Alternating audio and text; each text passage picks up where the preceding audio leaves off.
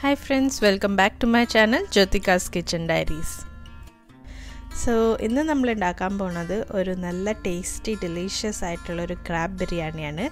ഒരു ഡിഫറെന്റ് വേയിലാണ് നമ്മളിത് പ്രിപ്പയർ ചെയ്തെടുക്കണേ. നമ്മൾ ഉണ്ടാക്കുന്നത് കിഴി ക്രാബ് ബിരിയാണിയാണ്. സോ വീഡിയോ സ്റ്റാർട്ട് ചെയ്യുന്ന മുമ്പ് ആരെങ്കിലും എന്റെ വീഡിയോ ആദ്യമായിട്ടാണ് കാണണമെങ്കിൽ സബ്സ്ക്രൈബ് ബട്ടൺ ക്ലിക്ക് ചെയ്യുക. അതിന്റെ തൊട്ടടുത്തുള്ള ബെല്ലൈക്കണും പ്രസ് ചെയ്യുക. അപ്പോൾ ഞാൻ വീഡിയോസൊക്കെ ഇടുമ്പോൾ നിങ്ങൾക്ക് അപ്പം നോട്ടിഫിക്കേഷൻസ് കിട്ടും.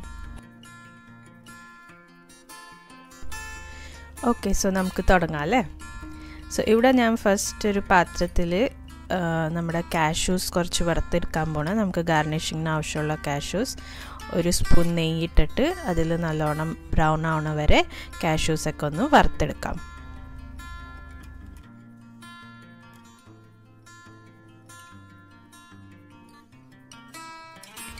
ഇനി നമുക്ക് ആ സെയിം പാത്രത്തിൽ എന്നാൽ ഒരു സ്പൂണും കൂടി നെയ്യ് ഒഴിച്ചിട്ട് നമുക്ക് ഉള്ളി വാട്ടിയെടുക്കണം.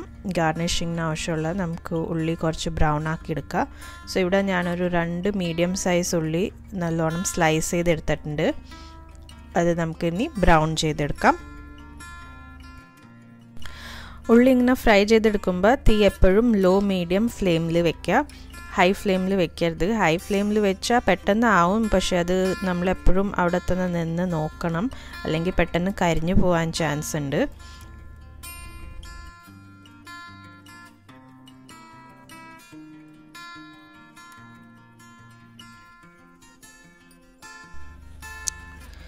സോ ഇവിടെ നമ്മുടെ ഉള്ളി നല്ലോണം ഫ്രൈ ആയി കിട്ടിയിട്ടുണ്ട്. അത് നമുക്കിനി മാറ്റി വയ്ക്കാം ഇനി നമുക്ക് കുറച്ച് മസാല പേസ്റ്റാക്കി എടുക്കാം. സോ ഞാനിവിടെ എടുത്തേക്കാണ് ഒരു അഞ്ചാറ് അല്ലി വെളുത്തുള്ളി ഒരു മീഡിയം സൈസ് ഇഞ്ചി എടുത്തിട്ടുണ്ട്. പിന്നെ ഒരു സ്പൂൺ നമ്മുടെ പെരുംജീരകം ഒരു സ്പൂൺ നമ്മുടെ സാദാ കുഞ്ഞു ജീരകം. അതെല്ലാനും കൂടി ഇട്ടിട്ട് പിന്നെ കുറച്ച് വേപ്പിലയും കൂടി എടുത്തിട്ടുണ്ട്. ഇനി ഇതെല്ലാനും കൂടി എടുത്തിട്ട് നല്ലോണം പേസ്റ്റാക്കി എടുക്കാം. ഇനി ആ സെയിം പാത്രത്തിൽ തന്നെ നമുക്ക് രണ്ട് സ്പൂൺ വെളിച്ചെണ്ണ ഒഴിച്ചു കൊടുക്കാം. വെളിച്ചെണ്ണ ഒഴിച്ചിട്ട് പിന്നെ ഇവിടെ ഞാനിപ്പോൾ ഒരു രണ്ട് വലിയ സവാള എടുത്തിട്ടുണ്ട്. നല്ലോണം നീളത്തിൽ മുറിച്ചെടുത്തേക്കണേ. പിന്നെ കുറച്ച് വേപ്പിലയും പിന്നെ രണ്ട് പച്ചമുളക് സ്ലിറ്റായിട്ട് മുറിച്ച് അതിനകത്ത് നമുക്കിനി നല്ലോണം വഴറ്റി കൊടുക്കാം.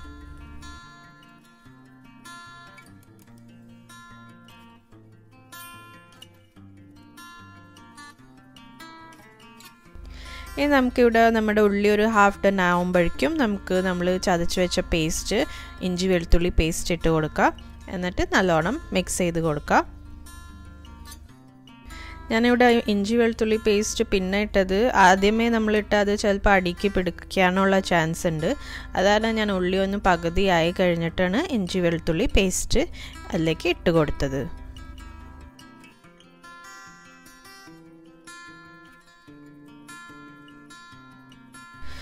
സോ ഇവിടെ നമ്മുടെ ഉള്ളി ഇഞ്ചി വെളുത്തുള്ളി പേസ്റ്റൊക്കെ നന്നായി വഴന്ന് വന്നിട്ടുണ്ട്. സോ ഇനി നമുക്ക് ഇതിനകത്ത് തക്കാളി ഇട്ട് കൊടുക്കാം. ഇവിടെ ഞാൻ രണ്ട് വലിയ തക്കാളി യൂസ് ചെയ്തേക്കണേ. അത് ഇട്ട് കൊടുത്തിട്ട് ഇനി നല്ലോണം വഴറ്റി കൊടുക്കാം. ഞാനിവിടെ ഇപ്പം മൂടി വെച്ചിട്ടാണ് കുക്ക് ചെയ്യാൻ പോണേ. അപ്പം നമുക്ക് നല്ലോണം സോഫ്റ്റായിട്ട് കിട്ടും ടൊമാറ്റോസ്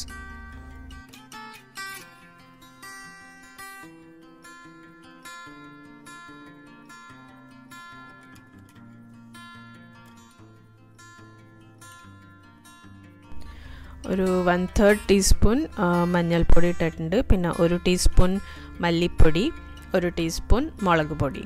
പിന്നെ നമുക്ക് വേണ്ടത് ഗരം മസാലയാണ്. അതും ഞാൻ ഒരു ടീസ്പൂൺ ഗരം മസാല ഇട്ട് കൊടുത്തിട്ട് നമുക്ക് നല്ലോണം മസാലയുടെ ആ പച്ചമണം മാറുന്ന വരെ നമുക്ക് നല്ലോണം വഴറ്റി കൊടുക്കാം.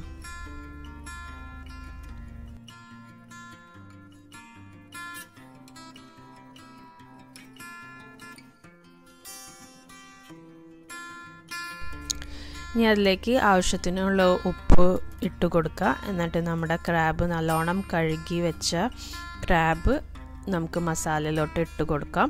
എന്നിട്ട് മൂടി വെച്ചിട്ട് നമുക്ക് വേവിച്ചെടുക്കാം. ഒരു മാക്സിമം പതിനഞ്ച് മിനിറ്റ് വരെ എടുക്കും നമുക്ക് ക്രാബൊക്കെ വന്ത് കിട്ടാൻ.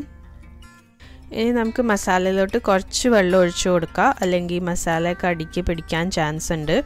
പിന്നെ അതിലോട്ട് ഞാനിപ്പോൾ കുറച്ച് മല്ലിയിലയും കുറച്ച് പുതിനലയും ഇട്ട് കൊടുക്കുന്നുണ്ട് അതിന്റെയൊക്കെ ടേസ്റ്റ് ഉണ്ടായാലല്ലേ നമ്മുടെ ബിരിയാണിക്ക് നല്ല ടേസ്റ്റ് വരുള്ളൂ. അപ്പോൾ അതൊക്കെ ഇട്ടിട്ട് നമുക്ക് വീണ്ടും മൂടി വെച്ചിട്ട് വേവിച്ചെടുക്കാം.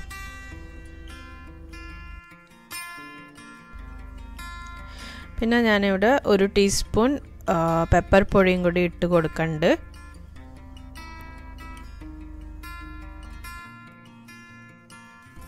സോ ഇവിടെ ഒരു പതിനഞ്ച് മിനിറ്റ് ആയപ്പോഴേക്കും നമ്മുടെ ക്രാബൊക്കെ നല്ലോണം വെന്ത് റെഡി ആയിട്ട് വന്നിട്ടുണ്ട്.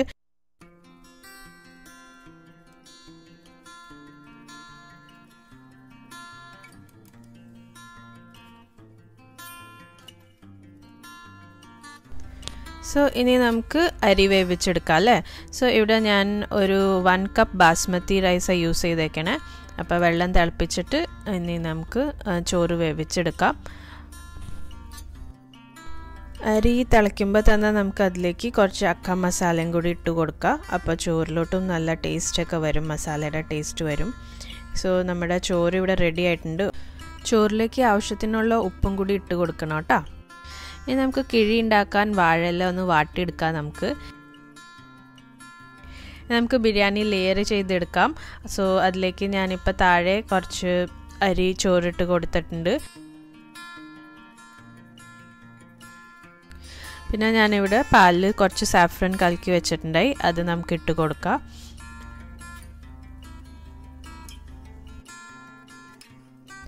അത് കഴിഞ്ഞിട്ട് നമ്മൾ വറുത്ത് വെച്ച കശുവണ്ടി കാഷ്യൂ നട്ട്സ് ഇട്ട് കൊടുക്കാം. അതിന്റെ മേലെ കുറച്ച് നമ്മൾ ഫ്രൈഡ് ഓണിയൻസ് ഇട്ട് കൊടുക്കാം. പിന്നെ നമ്മുടെ മല്ലിയലയും കുറച്ച് പുതിനലയും ഇട്ട് കൊടുത്തിട്ട് അങ്ങനെ ലെയർ ചെയ്തെടുക്കാം. ഈ നമ്മുടെ മെയിൻ മസാല നമ്മുടെ ക്രാബ് മസാല കുറച്ച് മേലെ വെച്ച് കൊടുക്കാം.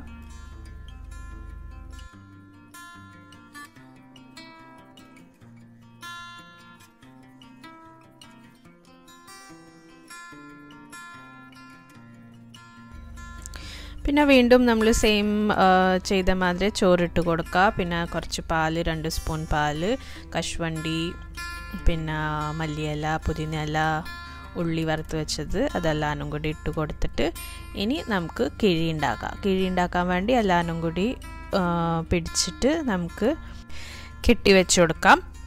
സോ ഇവിടെ നമ്മുടെ ഇപ്പോൾ കിഴി റെഡി ആയിട്ടുണ്ട്. ഇനി നമുക്കിത് സ്റ്റീം ചെയ്തെടുക്കണം. അപ്പോൾ സ്റ്റീം ചെയ്യാൻ ഞാനിവിടെ ഒരു പാത്രത്തിൽ വെള്ളം വെച്ചിട്ടുണ്ട്. നല്ലോണം തിളച്ച് വന്നപ്പോൾ നമ്മുടെ കിഴി അതിലേക്ക് നമുക്ക് ഇറക്കി വയ്ക്കാം നമുക്ക് മാക്സിമം ഒരു ഫൈവ് ടു ടെൻ മിനിറ്റ്സ് വരെ സ്റ്റീം ചെയ്താൽ മതി.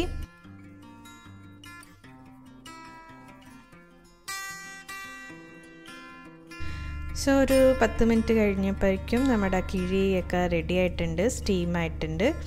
ഇനി നമുക്ക് തുറന്ന് നോക്കാം അല്ലേ? എങ്ങനെയുണ്ടെന്ന്?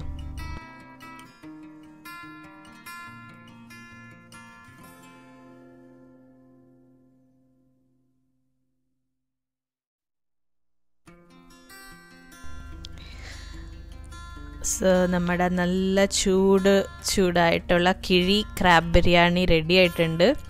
നല്ല ടേസ്റ്റാണ് എല്ലാവരും ട്രൈ ചെയ്ത് നോക്കാം. നമ്മൾ പണ്ടൊക്കെ ഈ വാഴലിൽ പൊതിഞ്ഞ് നമ്മൾ ടിഫിനും ഭക്ഷണമൊക്കെ കൊണ്ടുപോകില്ല അപ്പോൾ അതിനൊരു പ്രത്യേക ടേസ്റ്റ് അല്ലേ? വാഴയിലയുടെ ടേസ്റ്റൊക്കെ പ്രത്യേക ഒരു മണവും ടേസ്റ്റൊക്കെ വരില്ലേ? സെയിം എഫക്റ്റാണ് ഈ ബിരിയാണിക്കും നമുക്ക് കിട്ടുക സോ നിങ്ങളെല്ലാവരും എന്തായാലും ട്രൈ ചെയ്ത് നോക്കുക കമൻസും ഫീഡ്ബാക്സും അറിയിക്കുക.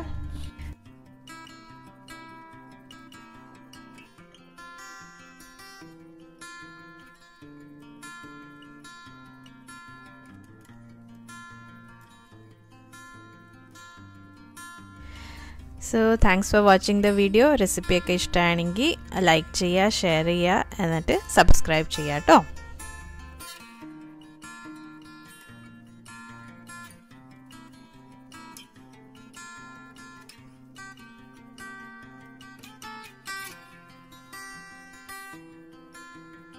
സോ ഇനി അടുത്ത വീഡിയോ ആയിട്ട് കാണുന്നവരെ എല്ലാവർക്കും tata bye bye and take care